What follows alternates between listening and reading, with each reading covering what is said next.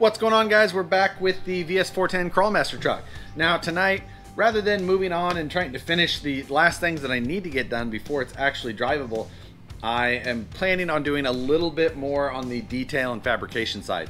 I had talked before about wanting to put a fuel cell in the back and I want to get that accomplished but before that I also want to do some aluminum work or some tin work and I want to kind of fill in a lot of the areas around these tubes and more specifically behind the tubes to try and give the look of panels that would be inset on a full-size rig that may be fabricated around uh, this style. So what I'm going to do is I'm going to be going through and making cardboard templates first out of just uh, some, some thin cardboard. For the aluminum, I'm to be using this, which is 025 thick aluminum sheet. This is a one foot square. You can get it at McMaster. Um, and for this is my one of my favorite materials to work with as far as this type of stuff goes. So we're going to cut our cardboard templates, get them fit into the chassis, do our trimming, things like that, and then we'll transfer those templates to the aluminum. We'll cut it out with just some regular tin snips, finish off any edges just with a little bit of sanding and sanding block, and then we'll probably grain the aluminum just to give it that brushed look. As far as attachment in the rear, I'm going to use the shock mounts to attach it on the sides and then I've got a centerpiece in the back there and I may either add some tabs on the inside and attach it to the side pieces either with like a, a rivet possibly or some double-sided tape. It's, it's hard to say. Uh, we'll get we'll you know we'll climb that hill when we get there but once I get that all closed in it'll allow me to easily close up the final top part with a fuel cell and it'll look really nice and complete I also want to add a little bit of aluminum up in the front section as well. I'd like to try and completely fill in this entire area uh, behind the tube work. I don't know if I'll be able to because of how tight I get to the servo on the driver's side, but I may be able to really work the aluminum around it. I've got a couple of my templates already worked up and what I'd like to do is, you know, fit these in. I've got one done for, for each side here, front and rear. And then I'll compare that to the other side and see if I can make uh, an aluminum panel work on each side with the same template or not or if I just need to make some very minor adjustment. But that's what I'd like to get accomplished tonight at the very least. Getting all of the aluminum attached and my 3D printed fuel cell, uh, or at least the 3D printed fuel cell lid kind of in there and, and hopefully it's exactly what I'm looking for my shipment of stuff from AMain was delayed by UPS, so my paint is not here yet, so I can't get anything done on the body. I was hoping to also incorporate the ESC mount into some of this aluminum work in the front, so we'll see how all of this works out um, once we actually get into fabrication.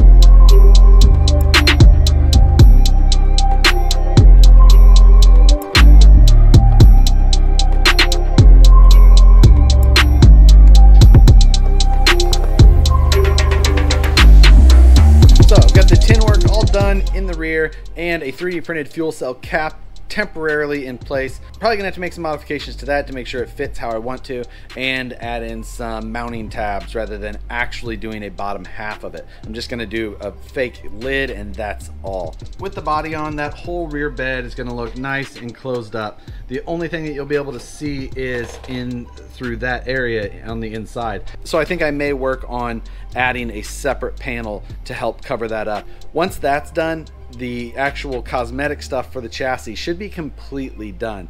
Um, and I'll just be needing to paint the body and then figure out all of my electronics. So tonight I wasn't able to get the battery tray done, but I got all of the tin work done pretty happy with how it turned out. And I think once the body is painted, it's going to be much more effective at uh, really completing the look. But until then, I think it's still, you know, it hides the servos nice up front. You don't see through this body as much. And I think the rear truggy area, now that it's nice and closed off, really looks a lot better.